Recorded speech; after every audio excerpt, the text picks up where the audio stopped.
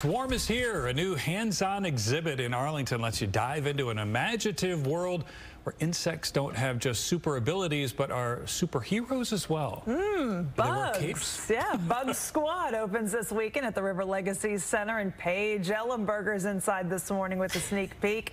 Oh my, that's a big one.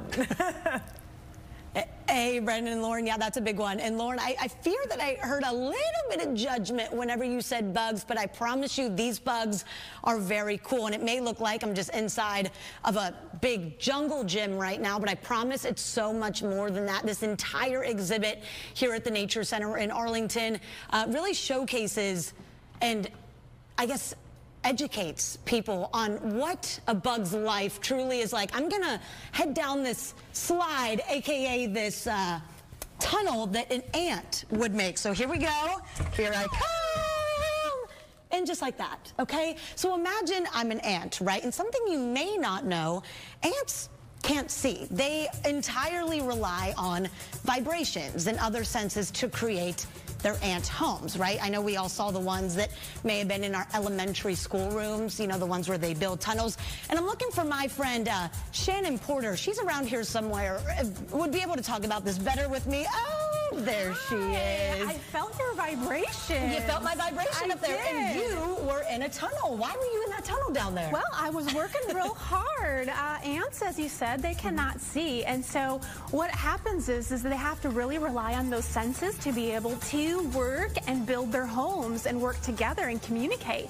So those vibrations that I felt from you, that told me of where you were and that you were coming around to me over on the side. Oh my goodness, so fun. And this is one part of a pretty large exhibit that you all have here. Talk to me about what folks can find here with the Bug Squad. Well, this exhibit's all about the bug superpowers. And so I have a lot of superpower insect friends here with us that you get to come and explore a lot of their strengths that allow them to survive in the world. So we have Phoebe, who she is a firefly, and we all know fireflies have that magnificent luminescent um, aspect behind them to be able to communicate and to be able to survive. You have our drone cockpit. That is all about highlighting the strengths behind our dragonflies that you see flying around. Their magnificent, magnificent flight is um, something that humans have mirrored, mirrored in many things that they've done.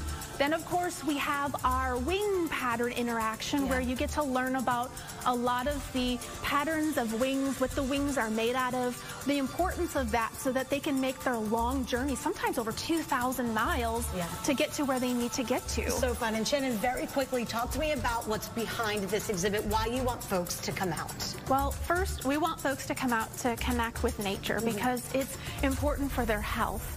It's important for kids to also connect with nature so that they can be inspired, uh, have that sense of wonder be back in their lives, and hopefully once they are able to connect with those, they'll be able to want to come here and learn about bugs, and hopefully once they learn about their superpowers, maybe want to go out and find some of these in their backyard. Amazing. Shannon, thank you so much for joining us today. I will let you get back to your tunnel if you so choose. This I do. A great exhibit. It opens Saturday to the public. They're closed on Sundays but you can find a link to tickets over on our website, fox4news.com. Tickets are pretty cheap, too, about $10 for adults, 7 for kids. So if you're interested in a bug's life, this is a really good opportunity.